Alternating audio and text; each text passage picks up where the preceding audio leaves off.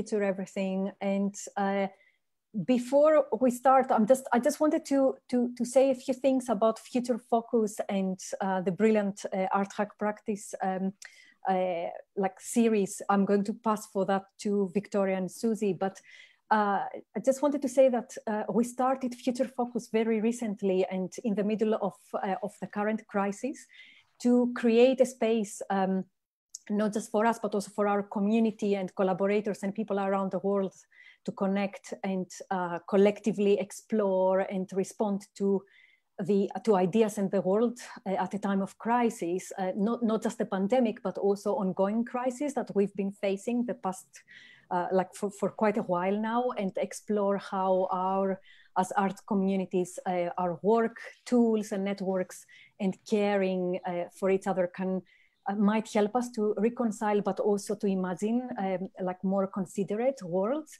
and uh, and the past few weeks of, of and yeah the past like few months we've been going through a very difficult time and uh, grief and mourning and devastation with with uh, with a pandemic, but which has made it quite clear for another time, you know, the huge inequality and injustice gap in our society. But the um, the, the events of the past week and uh, the, the brutal kind of targeting of like black people, violence and racism has been extremely upsetting. And I just wanted to share, to share that as a start. And um, and I know like we usually in our platforms, we share and present good examples and initiatives uh, from the international arts community, but I feel that we also need to talk openly about what is happening and we shouldn't also forget that uh, even the art world needs to do a lot of work in this area and remind us of the you know, the absence and um, exclusion of Black artists and curators from the sector that has happened quite a, a lot. So I feel that we have a responsibility to kind of um, not just kind of yeah to be aware and talk about this but also to use our, our platforms like this but any other platform to uh, give a voice to people that are not being heard usually. And um, and it's not just you know and yeah and to, to have a di diverse voices um, so without like spending too much more time like to to talk about this, uh, I just I'm just wanted to say thank you to Victoria Bradbury and Susie O'Hara, the editors of the um, this great uh, art hack practice publication, and of course the amazing uh, speakers that we have today, Ayo, Mark, and um, Yidi and Maria Laura, um, who are joining us for this session. Uh, and just before I, I, pass on to Victoria and Susie, I just wanted to remind everyone that you can use um, please feel free to use the chat to um, just say who you are, uh, say hello, just uh, share what your thoughts, etc. But also, um, if you have questions throughout the session, please use the Q and A um, uh, function, which is at the bottom of your screen. So we, it's easier for us to uh, to know what questions are coming in from there. But yeah, but please feel free to use the, the, uh, the, chat as well to, to say hello. And I've, we've put in the, in the screen uh, the Twitter handles of everyone who is here today. So if you need to, to, to say something on Twitter or like tag people or like take the conversation further. And also we will be live streaming this uh, on Facebook. Um, I think it's happening right now. Anyway, yeah, of course it is. so thank you so much. And uh, Victoria and Susie, over to you. Thank you, Irene, and welcome everyone who's here live um, and who's also watching us on the live stream. I want to thank Future Everything for this future focused platform. I'm Victoria Bradbury, as Irene said, co-editor of Art Hack Practice with the wonderful Susie O'Hara, who's also on the panel. The theme of this session is at home in the network. We're, we're here to talk about our field, new media art, from the perspective of artists and curators. And we have three fantastic panelists and one respondent here to talk about their research and discuss where our field stands today and where it's going. As we begin to feel more familiar with online and network spaces, we consider how existing knowledge of net-based and digital art, artistic practices can provide insight during the pandemic and post-pandemic times. Using Art Hack Practice as a starting point, we ask how can digital and online networks, curated experiences, and distribution strategies foster meaningful engagement between practitioners, networks, and remote communities? What novel strategies are being developed to make a shift from physical spaces to completely online experiences? what areas will have to pivot dramatically and which are more adaptable. To give you an idea of my own at home in the network, I'm an artist and professor of interactive media at University of North Carolina, Asheville. I'm at home wrangling my six-year-old and one-year-old children and teaching online classes. I taught my virtual reality class remotely this spring um, with the students having no access to virtual reality equipment. My at home in the network comes with a great deal of privilege as I'm surrounded by an America that faces mass unemployment, no plan from leadership, no clear narrative, and demonstrations are erupting in cities and small towns triggered by the murder of George Floyd, by the police in Minneapolis, the murder of jogger Ahmaud Arbery by two white men in Georgia, and the viral video of Amy Cooper calling the police on Christian Cooper in Central Park. None of this is new, but it has been brought into focus for white people by the disparities highlighted by the pandemic. As a teacher, I fear for my students and wonder how they're coping or if they're safe. As a white woman and mother, I wonder if I'm doing enough to dismantle white supremacy in my own family and community. Surely I'm not. As an artist, I wonder how the media I create, interactive installation, virtual reality, and creative hack events will even be possible after social distancing. I'm gonna pass it over to Susie now, who's gonna introduce herself a bit. Thanks, Victoria. Um, and thank you everybody for for tuning in today. Um, I'm zooming in from into the network from Newcastle upon Tyne in the northeast of England, where sadly we're currently dealing with the highest rate of COVID infection across the whole of the UK. Um, it's primarily created through sustained and chronic underfunding of this region from the government and has led to disproportionately higher levels of deprivation, social and educational inequality and poverty across the region, to start on a happy note. Um, as we seem in the UK to be hurtling towards what our opposition Labour leader Keir Starmer has coined an exit without a strategy, uh, the UK government um, seems to be pushing to ease the lockdown restrictions, reopening schools and businesses across the country. We still boast the highest numbers of death rates related to COVID 19 in Europe, with official figures hitting over 50,000 yesterday, second only in the world to America. Um, and it's been argued that we've been suffering from a similar lack of clarity and leadership as our American counterparts. Um, while public trust in the, our government's ability to manage and bring us out of this crisis safely is at an all-time low. And it has been, into, you know, incredibly difficult to witness the levels of injustice and racism and police violence that is happening in the world right now, particularly in the midst of so much grief already caused by the COVID virus. Um, and we had actually discussed cancelling tonight's event in solidarity to those suffering from historic and systemic abuse and the impact of societal inequality. But actually, we all felt as a cohort of people that it would be more, as Irene said, positive to use this platform to share the ways in which our creative community of new media artists, curators, thinkers and doers can use um, this network, this platform, to foster agency through engagement and co creation and support the drive to affect positive change by helping to identify what are those strategies and skills that are needed to be effective in our rapidly evolving and networked realities. Um, so, on a personal note, over the past 11 weeks, my family and I have had to become um, increasingly at home in the network um, as I spend, you know, increasing amount of times connected to some kind of device for work. Um, however, like Victoria, I know that I'm really lucky to be in a situation to be able to work from home. Professionally as a curator, like the majority of people in my sector, I've been managing and pivoting um, artistic and public engagement projects that have been postponed to an uncertain into an uncertain time in, uh, in the future and pivoted to account for an indefinite number of safety measures which will likely endure post-pandemic. Um, I'm a board member of a small Northeast company. I'm working on a knife edge reserves. I'm obviously trying to provide moral and practical support there and you know as a mom you know parental and teacher, teaching duties being interwoven into the workday has has been fun to say the least.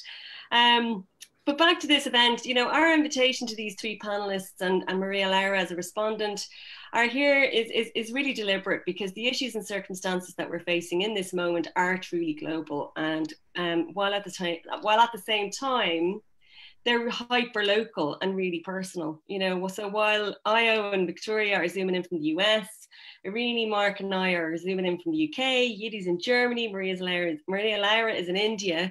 You know, we thought that it might be useful to begin each presentation, which each of, each of us speaking a little bit briefly um, about what's been happening, where we are in recent weeks and months. So once panelists do that, they'll speak about their projects that they presented in their Art Hack practice chapter and perhaps touch on how the current situation has impacted their work. Um, we'll then invite Maria Laura after the three um, authors to briefly discuss her own research um, and then she'll have an, an opportunity to respond to the presentations before we open it up into a group discussion. Um, so before I, we begin, I would like to echo Irini's call. So please feel free, use the Q&A tab throughout all of the presentations to drop any questions that you might have uh, for the panelists throughout the presentations. There is no such thing as a stupid question, so fire away um, and I'll crack on with, um, with the introductions. So I'm incredibly delighted to welcome uh, Yidi Tsao to this panel discussion. In her chapter, Wikitopia Hong Kong, Curating a Collaborative Urban Future, Yidi reflects on the Wikitopia, a media arts and cultural, cultural festival that hacks the economic and political infrastructure of Hong Kong to make space for artistic practices and creative collaborative contributions for the future of society. His chapter centres on an interview with Ellen Pau, affectionately known as the godmother of new media art um, in Hong Kong and uh, is founder of Wikitopia. She tracks the festival's origins and development over the three iterations, highlighting programming strategies and technical challenges encountered along the way. Yidi, over to you.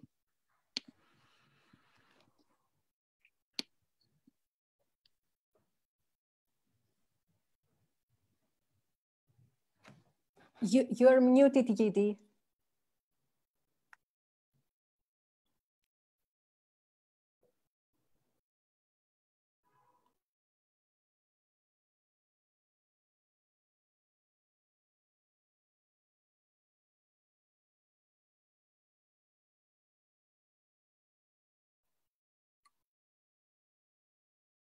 Is okay? Can you hear me now?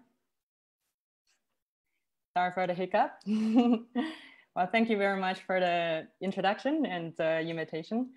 And I really appreciate your honesty and um, positivity in the introduction. Indeed, this is what we really need and we, what we must do at this moment. And especially considering that all the panelists today are going to focus on their projects about community building and social justice in different social political contexts across the globe. And um, hi, those of you who are watching us right now, wherever you are, I'm speaking to you from my home in Berlin, Germany. And at this moment, um, Berlin is kind of normal now. And um, things are resuming, exhibitions are opening, institutions are reopening.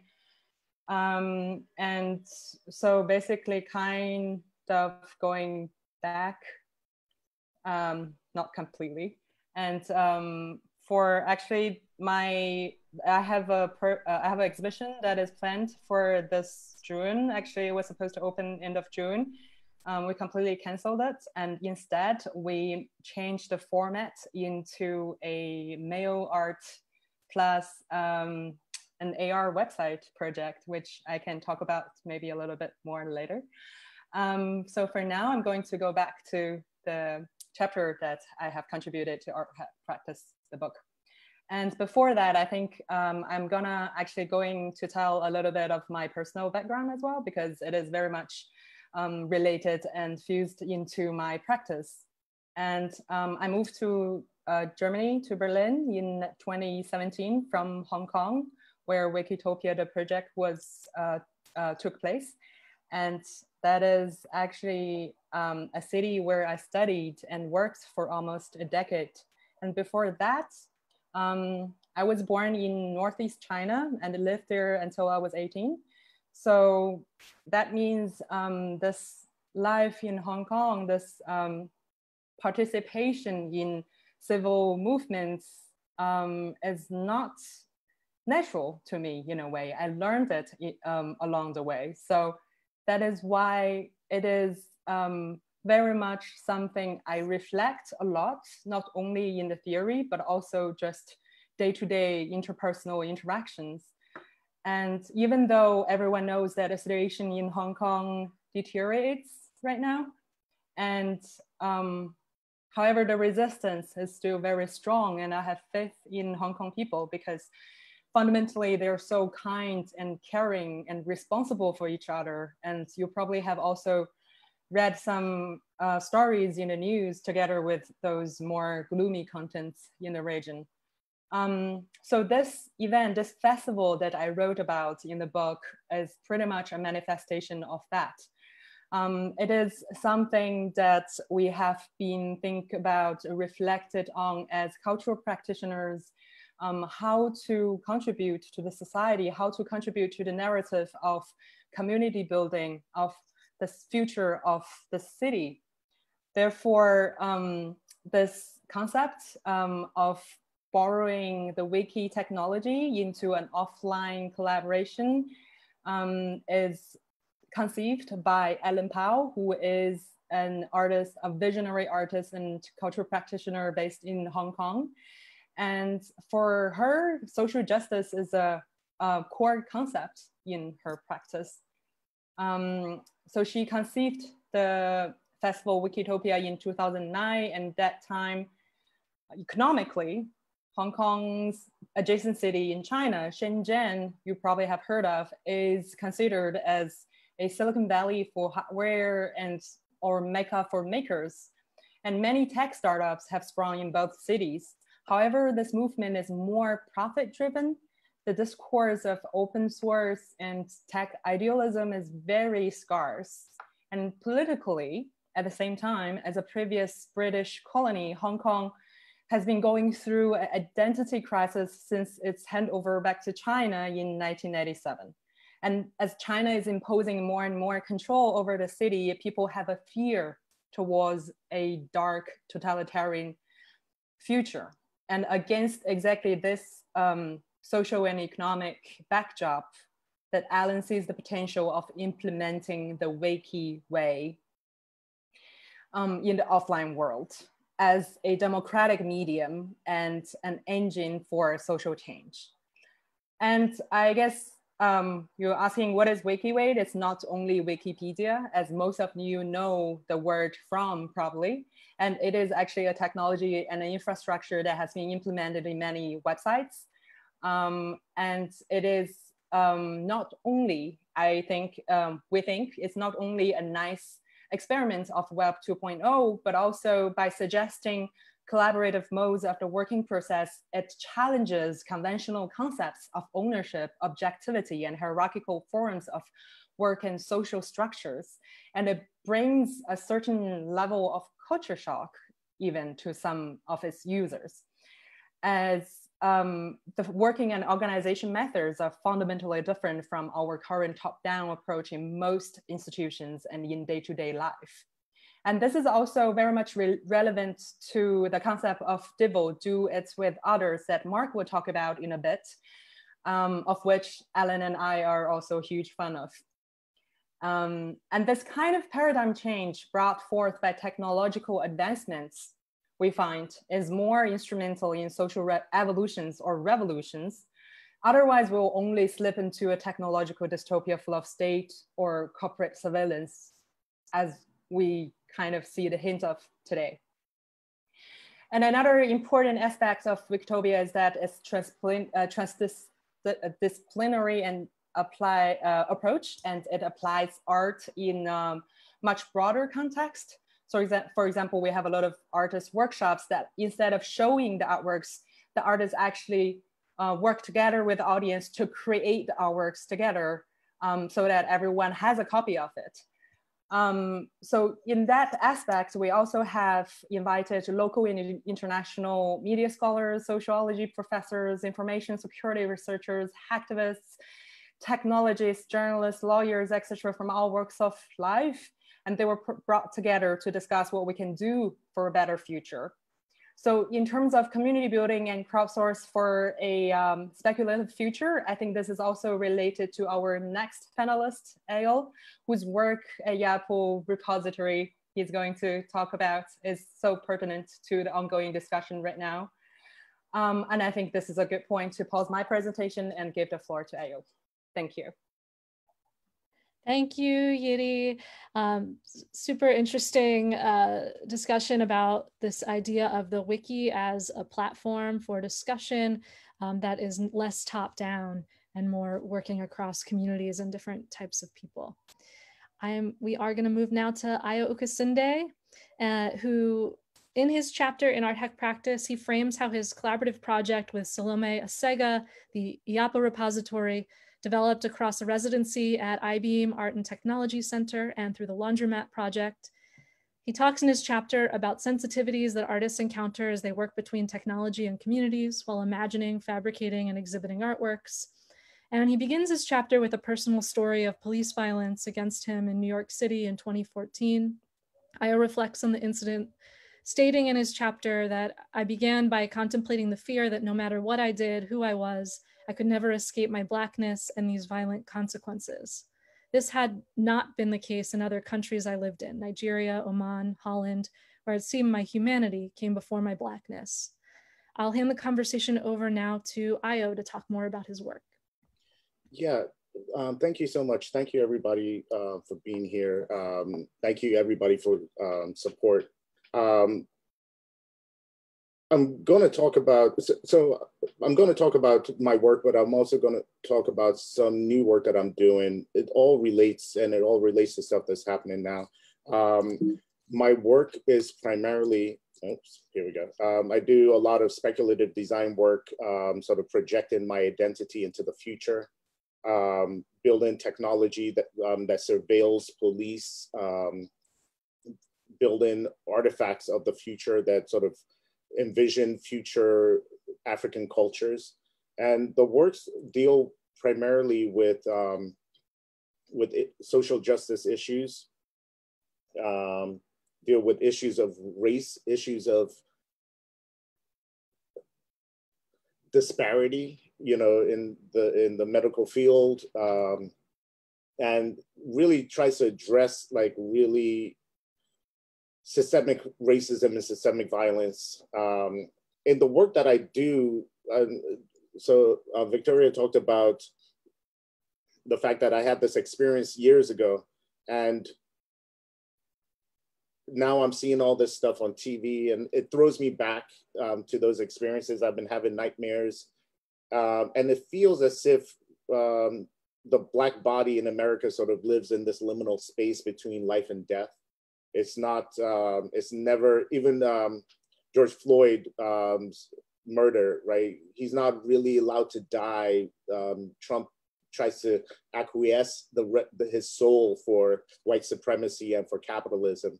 So it's this space that the black body lives in that's, that I think is really, really close to that line of death. And this perpetual thing that happens over and over again where um, time sort of um, curls in upon itself. Um, and uh, not in the same way that sort of Johannes Fabian talks about time on the other, but this is like a different space time that uh, blackness, blackness, blackness exists in. And so I've been looking at um, Octavia Butler's um, Parable of the Sower and um, the Otolith group, Infinity Minus Infinity, and thinking about how the use of that space, the use of that turn-in of time, how one might be able to utilize that in, in activism. So thinking about that opportunity um, as a as a rupture, thinking about the the idea of the absurdness of the of the situation, giving rise to creativity, giving rise to different ways of thinking, different ways of uh, of being, and looking at um, you know Primo Levi's work, um, The Drowned and the Saved, and thinking about ones that have come before us and what we owe them. Um, and then thinking also about the future, the ones that are to come, and how might we be able to go back to the past to gain knowledge or jump back into the future to gain knowledge. Um, and what it means to defend um, the dead what it means to honor the dead. Um, I, I, I'm, uh, oops, what happened here?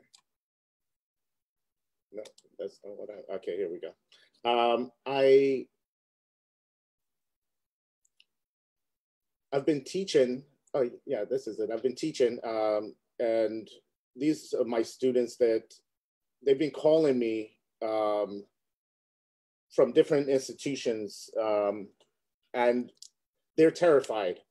And they are they don't you know i maybe have some idea about how i might be able to move in the world right? Some of these students have no idea. Um, they are already disadvantaged and sorry i'm just getting a little emotional. It's really hard. There are no words to describe what's happening. Um, in anthropology we talk about this idea of affect and the way affect comes into existence. It needs language to be able to negotiate its existence. There is no language for what's happening now. And i'm sort of thinking how does one work with that you know? So I've been looking at uh NourbeSe um, Philip's work Zong and the way they use language to sort of get at the unimaginable terror, unimaginable horrors of of slavery. And I think in this time um, that we are in, we're going through that again. That um, that inability to to speak what the horrors of um, what's happening is.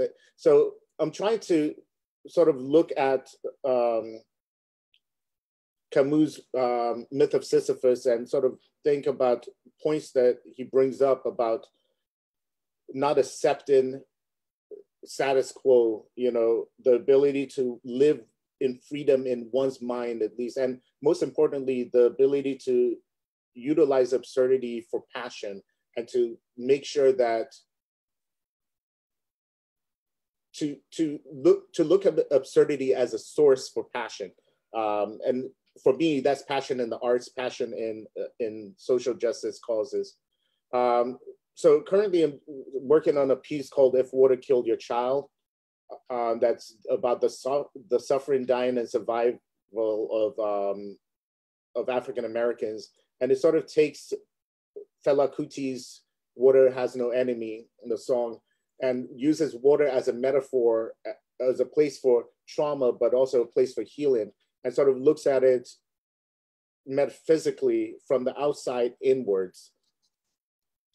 And in the same way, he tries to create a portal that one could embody the pain and the trauma, but also one could use that portal as a means of catharsis, as a way to jump into the past, into the future, to speak with the submerged, to speak with the dead, and maybe gain some sort of solace from that. So, so these pieces are sort of cyber technical, cyber, I guess, techno shamanist pieces that allow you to jump back and forth in time and sort of try to embody some of the pain um, and try to get some sort of catharsis out of that. Um, some stuff I've been reading, um, could have this available if anybody's interested. And yeah, thank you. That's it.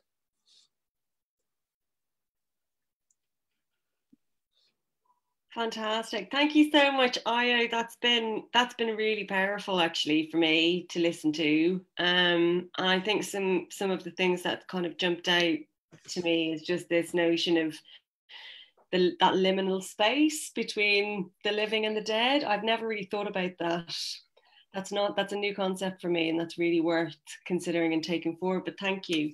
Um okay so um i'm absolutely delighted to to welcome Marc Garrett onto our panel and i'm really pleased to to welcome you from london. Mark hello. Um Ruth Catlow and Marc Garrett have been hacking what an arts organisation could be long before the term art hack was coined. Um, and in their chapter, uh, Daiwo and Daewo, how do you pronounce that, Mark? I don't know how to pronounce it. Daewo. Darrow, okay.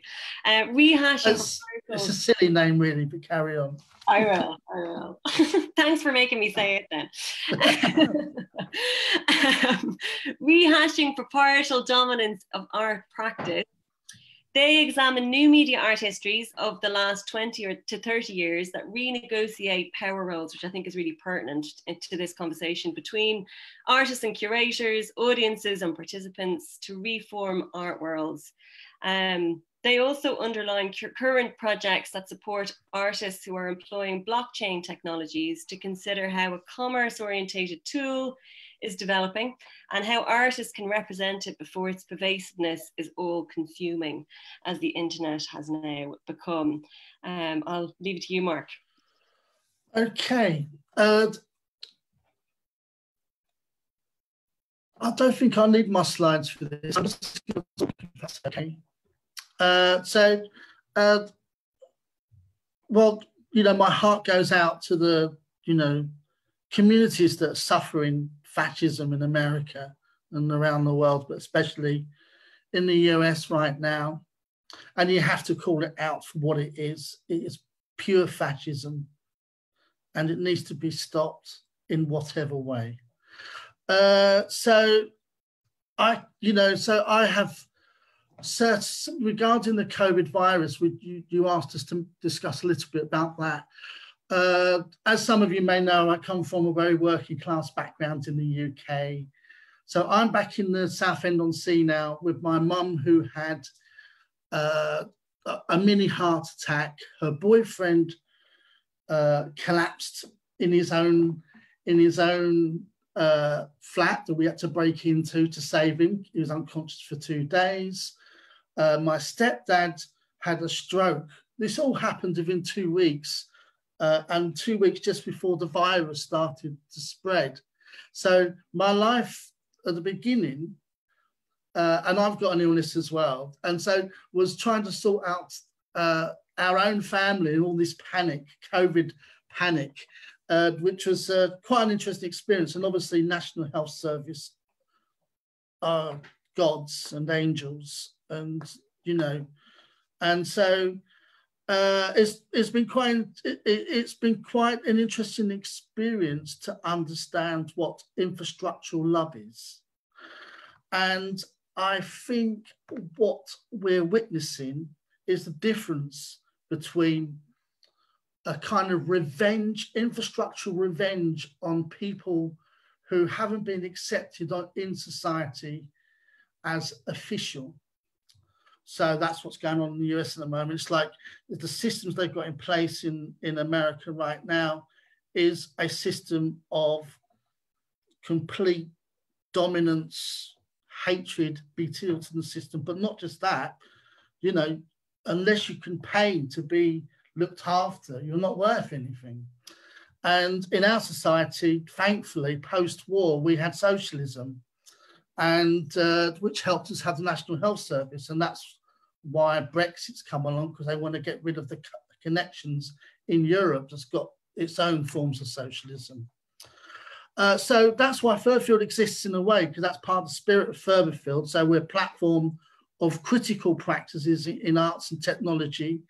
And we coined the term DIWO, do it with others in 2006, uh, as, a, as a way to deconstruct the curator's hierarchy over artistic culture.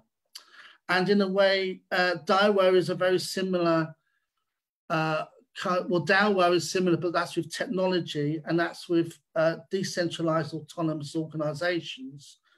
And it's, and, and you put DIWO next to it, and you've got DAOWO, and it's a kind of just a play, a play on those two words put together. But in, in a way, it's a very serious, critical approach towards working with others, where some of the conversations in the work uh, in the artwork that we all take part in, uh, there's discussions other than just, uh, you know, showing works in exhibitions or whether you become a famous artist or whether you're a genius and all that nonsense.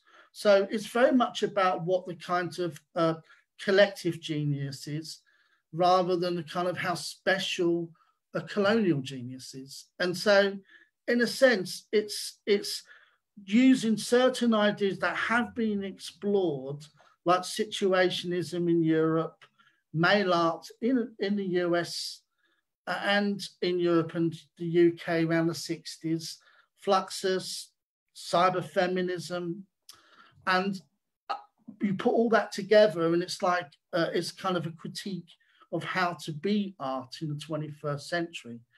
And in a sense, it's about taking away this kind of market dominated ideology in connection with neoliberalism, which we're all suffering from.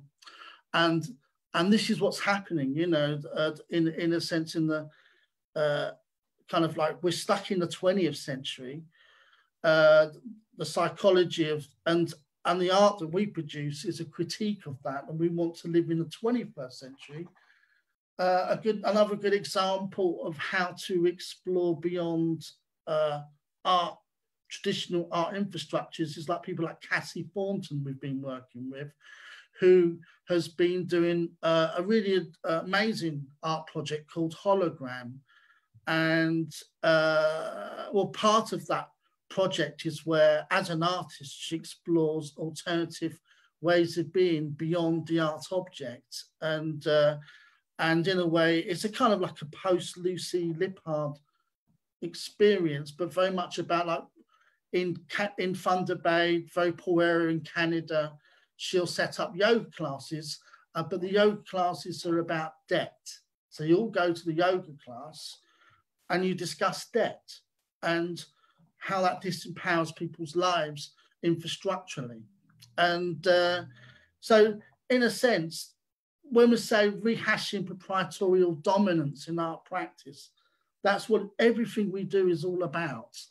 And so, uh, you know, so we work with people that actively want to destroy that hierarchical, patriarchal narrative that dominates the consciousness of art practice, whatever that looks like. That is our aim.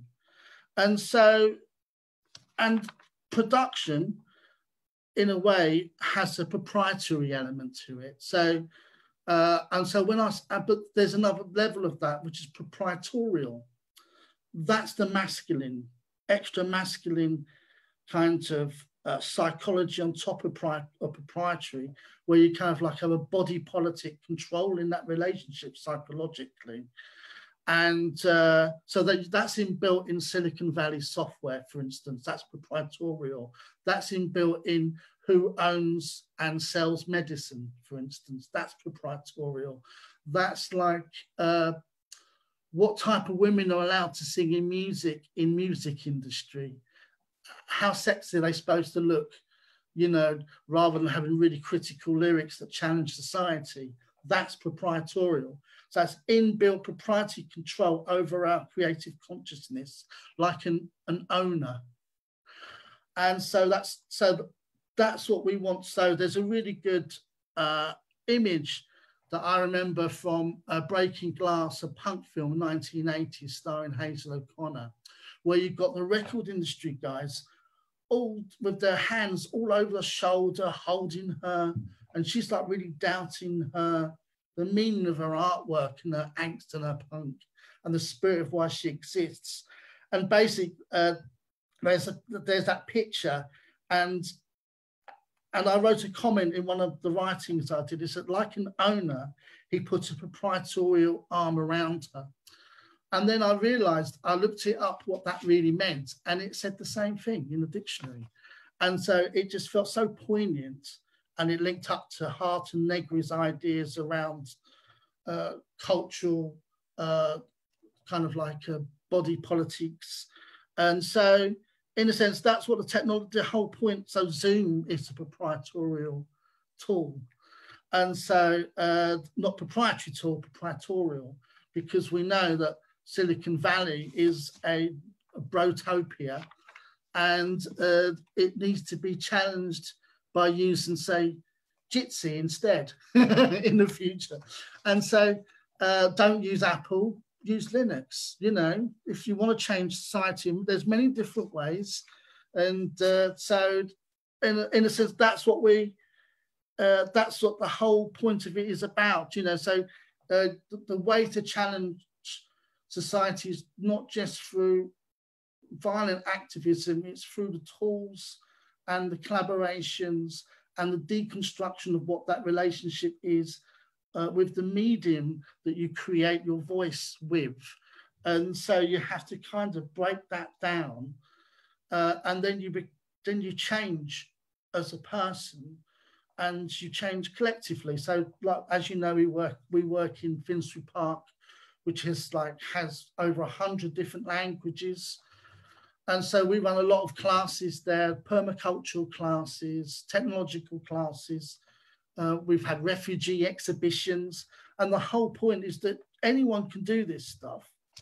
And uh, uh, but the future is is how we can transfer those skills beyond beyond just educating the elite and and that's that's where our next phase will be that's the point so I'm not going to go, you know, if I go and teaching all this amazing information, I don't want to be teaching people that have been to university. I want to be teaching people that haven't been to university, that haven't had that chance.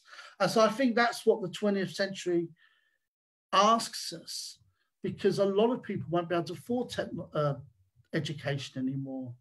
And so these these massive changes, and so you've got groups like Anti University that we work with as well, that are exploring that context. So I don't know what else to say. That was just a kind of relative rant, but I think you know what I mean. I think we know what you mean, Marc. Thanks very much. um, your your your comments make me wonder. You know, in what ways digital artistic practices might be pushing against or subverting the market um, and you know what ways can they can they move in this area and then I just wanted to comment on Ayo's presentation briefly as well. Um, first of all, for sharing, um, thank you for sharing what you said about your students, because um, I think thinking about young people is, is so important and that idea that you've, in speaking with your students, you feel you have more um, you know maybe more agency to move in the world through your own experience um, than than they have had the chance to experience up to this point. Um, and then also Ayo when you showed that you'd done those watercolors and that you've been creating new work at this moment my jaw dropped I have to say. That's uh, it's not something I've been able to do. So um, I am going to move us on to our respondent, Maria Laura Ghidini, who it's so wonderful to see. I have not seen in a very long time. I'm so glad to have her here. Um, she is a researcher of online and network platforms, curator of internet artworks, and founder of or-bits.com, a platform for the production, display, and distribution of commissioned artworks and critical writing. She's a course leader for the Master of Curatorial Practices at Srishti Institute of Art Design and Technology in Bangalore, India. And I'll hand it over to her. Huh. Hello. Uh, thank you for inviting me. It was uh, very nice to listen to everyone. So um, perhaps I'll give you the context uh, um, related to where I am as uh, um, Victoria asked me. So like in relation to the pandemic. So India had, a, so I don't know how much information you have. There was a very, and there still is, there was a very harsh uh, lockdown for over two months. And now we are in a phase which is called uh, Unlock 1.0, despite the fact there's a, a very steep uh, rising curve of cases and uh, of which numbers we don't actually really know.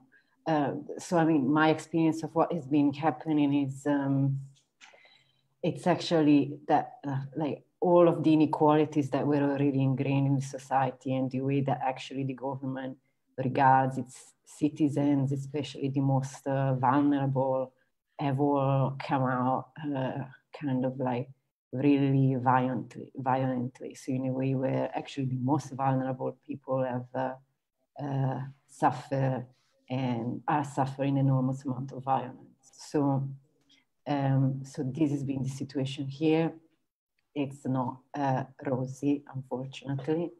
Um, and it, this all comes with this uh, idea of kind of like surveillance, control, and hiding information, which perhaps is something that I have just like one question for each of you that kind of like builds on it. And is related to this idea of uh, strategies, uh, because in my research, I've always kind of like been interested in looking at uh, which kind of like uh, strategies artists and curators have developed to kind of insert themselves within a network context, being that um, already existing platform, a custom built platform, or being uh, apps or like new services that uh, we use. So I think I'll address like a question for each of you, but then I mean, I guess it's up to you if there are overlaps um, to kind of like re respond to it. I mean, at the end of this. So for you, uh, um, Yidi, I was actually interested, uh, you know, you, you kind of like mentioned this idea of like uh, a totalitarian context and uh, kind of like surveillance. And I mean, I think as I said right now, in, in the experience that we all had, I mean, surveillance and, and control have been kind of like endlessly uh, promoted during like this time of pandemic. And uh, they've been coming with two sort of like narratives according to what I've seen. So one of them is we has been like, this is to protect you, to protect you, your family, and the people you love. So it comes with this idea of kind of like care. And on the other side is um, uh, kind of like this is like our way to control a situation which is chaotic, where there's something that maybe it's invisible and there's something that we cannot foresee. So what I wanted to ask you is if this has had any impact on kind of like your thinking about this idea of like surveillance and control and uh, what what sort of like strategies artists could actually try to develop right now but more than strategy maybe strategies maybe i'm more interested in thinking about what which qualities should an artist have right now to kind of like grapple with this uh, scenario. Um, so and this is the first question. Shall i ask question to everyone and then we move on to them replying? Yeah that's how that would be great. That would be great. Okay so this is the uh, the first one and then uh, um, so i think uh, um,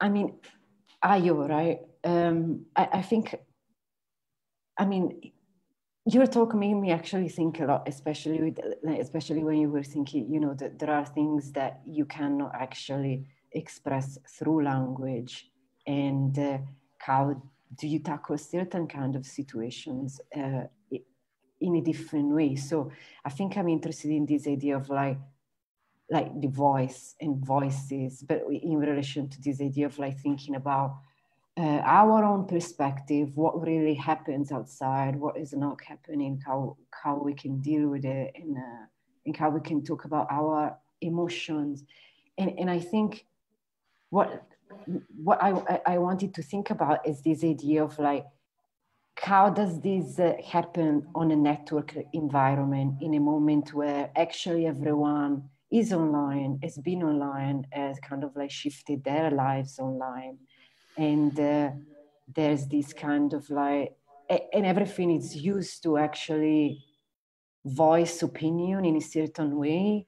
And you know i mean what i wanted to ask you is like what do you think it's happening there what are the challenges what are the problems especially in this relation to this idea of like voicing and the complexity of voicing um, so that's my question for you for uh, Marc. Um, I was, uh, hello.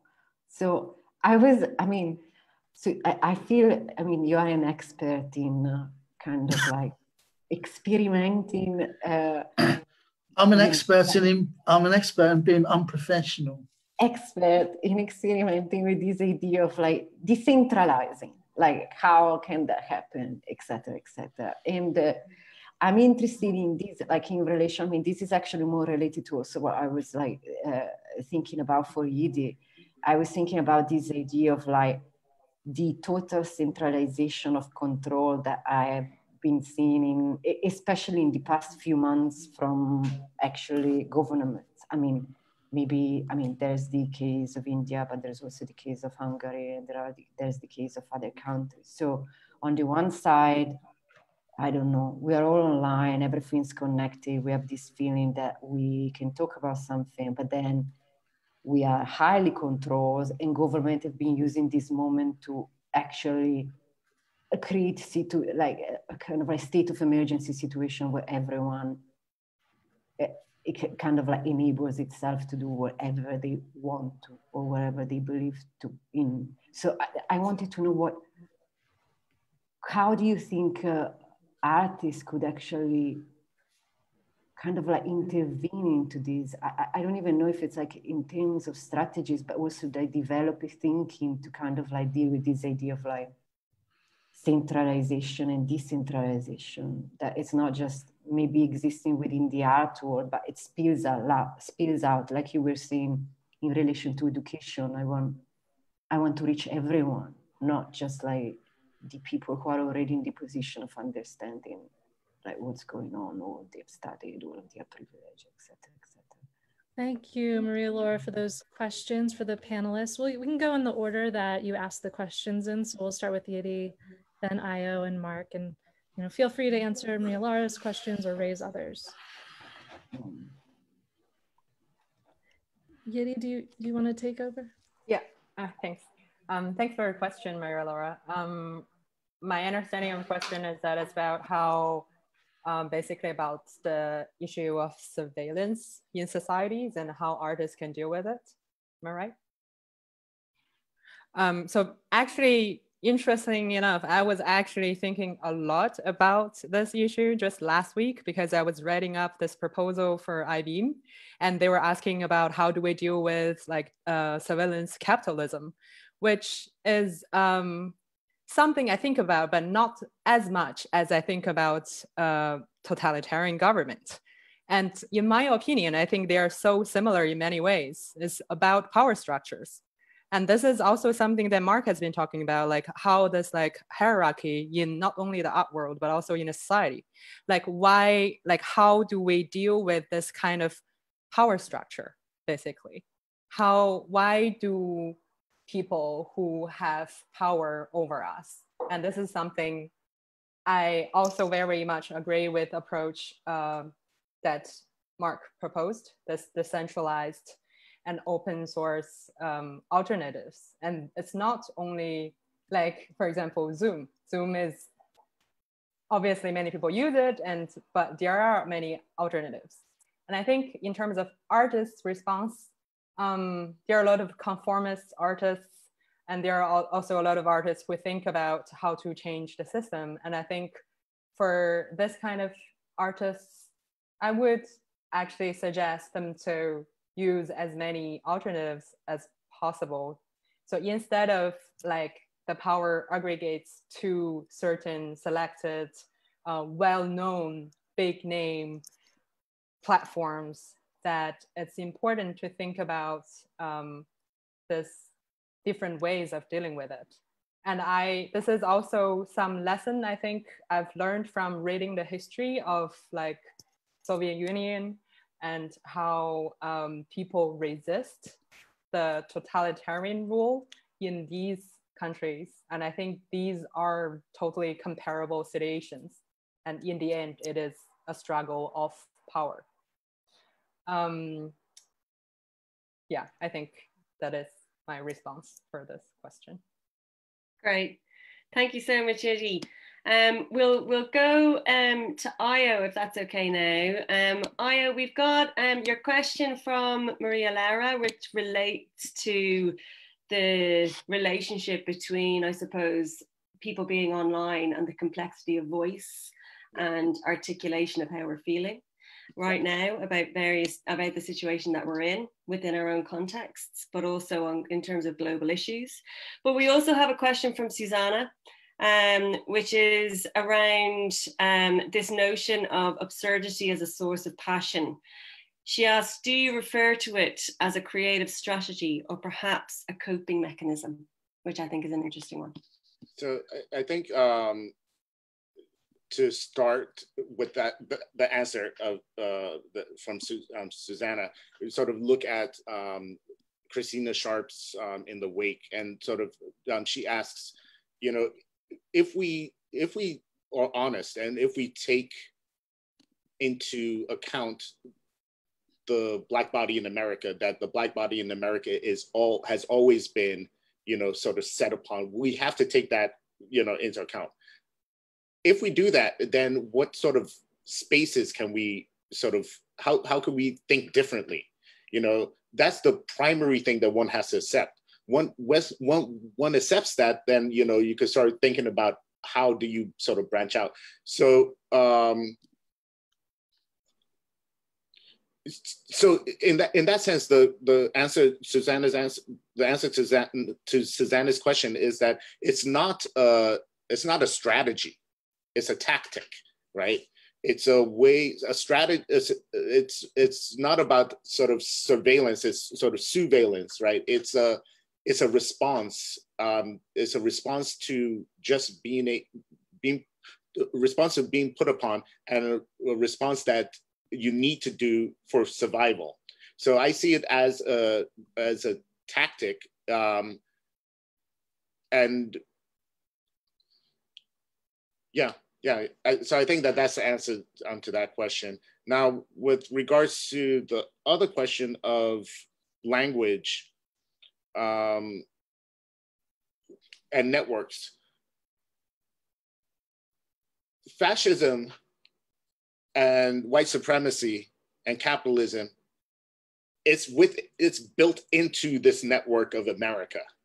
Um, i don't believe that um, i don't believe that everybody's online.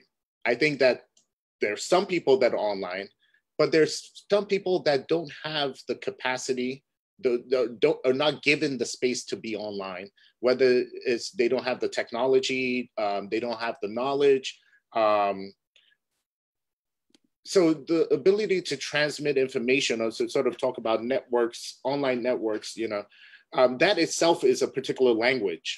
Um, just, just like the fact that we're here using English to discuss things, English may not be able to accommodate, you know, thinking about gender expressions, for example, um, it may not be able to accommodate that, um, or thinking about ideas of hierarchy, it may not be able to accommodate that. Um, so the question is, how do we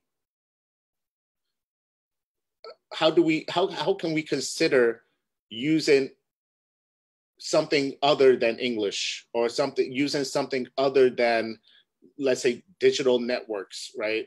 Um, and to answer that, I'll refer people to um, Octavia Butler's um, Xenogenesis series, particularly um, the first um, book, Dawn, where she questions the idea of the in, the hierarchy in humanity and questions, you know, is that really necessary? Um, and then looking at her work on slime slime mold and the fact that slime mold is singular and multicellular at the same time um, has multiple expressions of uh, of uh, of sex. And then asks not not that we should sort of try to draw an analogy um, but to to recognize and perhaps in recognizing that there is an other there is uh, there are alternate ways of thinking um, the different epistemologies right? If we are able to accept that then perhaps we could start thinking about alternate ways of being so particularly about this about language um, doing a project now that you know so for example uh, many times i'm the only person of color in a room. And uh, uh, we have this expression, sort of, you know, thinking, oh, I'm, I'm the only Black person here, right? What does that feel like? You know, how, how can you transmit that? Just saying the words doesn't do it. So, and also saying the words in English, right, takes away from that. So this project is sort of trying to transmit information um, a community comes together, they define these sorts, sorts of visual glyphs. And then that visual glyph is transmitted over um, a network system to a haptic suit where then they feel the, the, they, they embody the, the language that um, was created and the language that was created by community. So things like that, sort of like trying to think of speculative ways to sort of bypass language, speculative ways to bypass um, systems that are already embedded that have their own history, right? Uh, histories of, of oppression, and questioning the the the ontological um, um, basis for those um, systems and questioning the epistemological value of those systems. It's challenging because to be able to teach this, in, let's say at a university, a university is an institution that um, um, that yeah, it's difficult to then try to uh, uh, put that and teach that within an institution that has that uh, um, already imbued in it. Yeah. Brilliant. Thank you so much, Ayo. That's again just really fruitful lines of thought there. Um, and I think this notion of plurality, of kind of community co-creation, of thinking more broadly about our, our kind of sensory faculties in, in terms of communication, I think is a really useful way to think um, in this space. Um, but I'm super interested in terms of Marc's question from Maria Laura, in terms of a response, um, this notion about how we've seen a kind of control grab from government, um, I suppose, um, in, in this in this situation, the kind of opportunistic kind of approaches that certain um, behaviors that we've been exposed to um, throughout this crisis um, and, and how and what the role of artists might be in terms of responding to that, you know, in respond in, in terms of communicating that, you know, bringing about new new forms of thinking around that. Marc, I'd love to hear your thoughts. Well, uh, so uh, some of the people that we've been working with, like we worked with some Australian Aboriginal artists, and uh, where we had an exhibition in our gallery, and uh, we learned so much from their perceptions about the world, and uh, it completely threw us uh, some of the kinds of ideas that they were not ideas, traditions, but they were so out there because we're so used to being within a kind of uh, these systems that just automatically are in place for us as a given. Not that they're all useful, but they're there. And their kind of perceptions on how we live, are, uh, well, they look at us in, in a very humorous way that we're quite funny to look at because we're so desperate to get from A to B all the time, or you know, there's so many things that we're battling against within capitalist society that they in their everyday existence we probably emotionally desire to have ourselves. And so I think uh, there's a really interesting book that I read called Medieval Hacking. And and uh, it and it took us right back to the medieval times around uh, where people started creating new forms of knowledge that were local and were not based around the hierarchy of Christianity. And uh, but they were scribes, and they started to create their own stories in the Bible, local versions of the Bible, uh, as messages of their own kinds of uh, local stories of their own local that, that locality could be just a village or a town across the UK and that this was like 500 uh, AD so and uh, and what I find really interesting about that is that what we've learned from technology or what we're learning from it isn't the technology it is the ontological side, or it is how we can transform our identities or missions or connections of others beyond the technology and and and how we can reintegrate that in older forms of learning that aren't based on 20th century forms of hierarchy. And so i just think that uh, if you go to, if for instance, I was listening to a podcast the other day in my half in my sleep, Native American podcast talking about gender, and I just woke up and suddenly, what? Wait a minute, you mean they had five genders? and and it was like what you know imagine if i was one of those genders how would i see the world then and and i with like Ayo I, I really do believe that we need to be learning uh, uh, uh, uh, uh not about absolutes but nuances of becoming other than what we are and what we've been, des- been designed to be. And that that's whoever we are, you know, and and uh, and I just think that's that that's what the 21st century will be about. That is what it will be about. People be they will be fighting to be other than what they've been told to be, and this is what transgender politics is all about. This is what it's people are now claiming to be who they're supposed to be or who they are not supposed to be on their own terms, and they're forming new languages to uh, uh, reconnect to something that's spiritual, but on their terms. I think that's a really powerful point, Marc. Um, and actually, it's it's interesting. We've had a question through from Kin, which I think um, kind of can uh, allows for a bit of an augmentation of, of what you're you're suggesting there.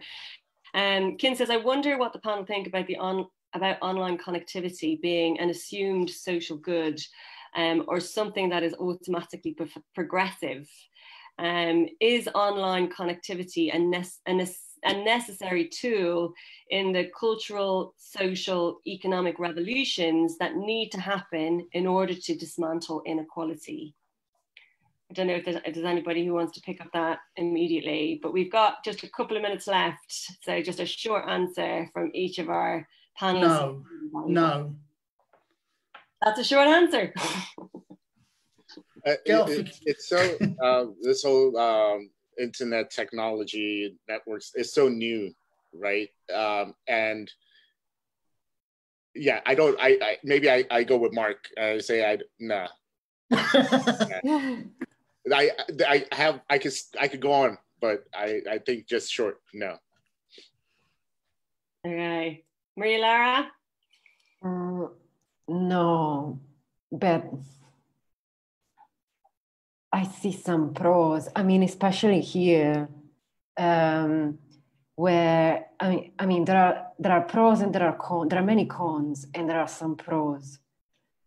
Like uh, spaces like uh, WhatsApp have allowed to create on one side on one side hegemonic narrative but sometimes they've also allowed people to share information in languages that otherwise wouldn't be available in any other platform online. As you were saying everything is in english which is only a certain kind of literate people. So you have something like whatsapp where you can actually leave vocal mm-hmm. messages. Of course that's a double sword because it can be used in both ways by you know in extreme ways so I need to think about this more. But uh, it's a no, sometimes yes. Dep- it, it, depends on like like you can't. I don't think you can look at it universally. You have to look at it in a very specific context, in a very specific moment, a very specific time, in relation to the idea of I mean to the other. You. Okay, we have two no's and a maybe. What are we what are we gonna hear from Yidi? no, and it's not, I don't think it's necessary as such, but it is definitely important an important tool that we can make use of. And it's I think it's just as any other um, media technologies that we have, like printing or writing, even like this is it has defined the um, certain modes of our communication and we have to adapt our communications to these features of these tools. And um, for example, in the case of Hong Kong protests in the past year, that online connectivity was a really important tool and it was essential and people organized themselves online. And so that was like people, you, you probably have read that as a leaderless um, revolution that is only made possible through the online connectivity. However, at the same time, in China, there is certain um, level of connectivity, but there is also this huge censorship uh, imposed by the government. And therefore, it actually, I think, makes um, the situation of equality worse. And people are getting more, the society is getting more and more unequal. So it really depends on how this online uh, connectivity is implemented and how the in infrastructure is built and how people set up the protocol to how to use it together. Thank you, just, Oh, go ahead, Marc.